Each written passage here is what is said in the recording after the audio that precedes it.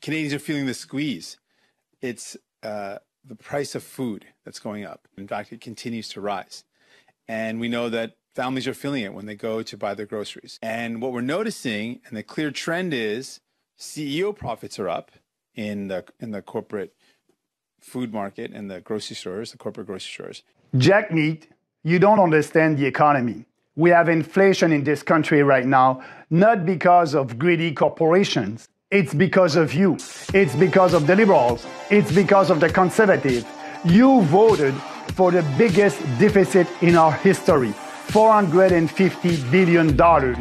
And what happens? The Bank of Canada printed money out of thin air to finance these deficits. It's because of you, because when you have more money chasing fewer goods, you have inflation. That's economic 101. If you want to fight inflation, if you're serious about that, you must not support the cartel in milk, poultry, and eggs.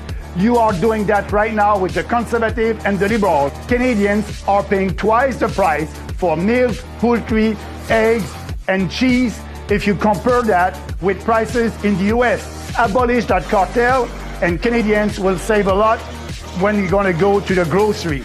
You are working with the cartel, you are not supporting Canadians.